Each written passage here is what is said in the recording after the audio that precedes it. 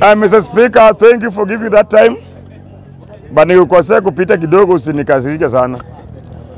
Mimi na, na wasalimu nyote watu walindwa na gaje ya gavana ya Maragwe na Michele. Alafu nakuja kusifu mtu hapa. Unajua niliwaambia kitu moja, ndio kwa maana hata Mudavadi nilichukua sitajui. Unajua hii watu basemeji kusaa peke kitu kidogo pap, bora kule Maragwe anakusifu. Bora sikule mabao ya kuku anakusifu. Sasa Sakaja amekuja na design nyingine ya kupea hao ndugu zake Michele na marago na msifu yote kila mtu. Are you determined? And that's why nawaambia kila siku mtawapanga. Amtatupanga juu you are not determined. Si wameongea mbaya hapa juu ya governor, hata mimi wacha nimwambie governor ujinga ako nayo. Mimi sina bana, sina ukabila.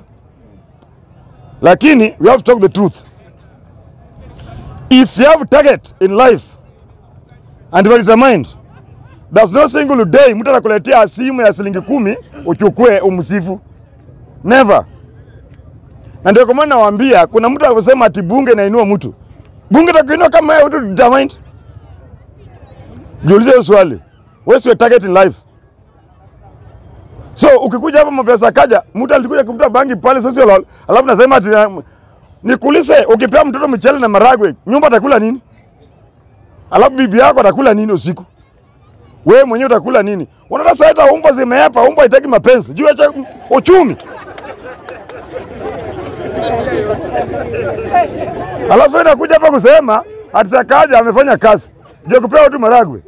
Unajua watu wengine hawana akili kusema kweli. And that's what I'm saying. Our level of degree of understanding will remain at our at all. Hapa tu kwa uwanja. Kwa sababu yani mchele peke yake unakuja kusifu mtu. Mchele na maragwe. Ndio kwa maana hata niliambia Magoba, toka na mchele yako ndio huko. Mimi sasa kula mchele kwanza sinunui, hata sitaki bei yake maragwe. Tusi Eh, mimi nanunua maragwe.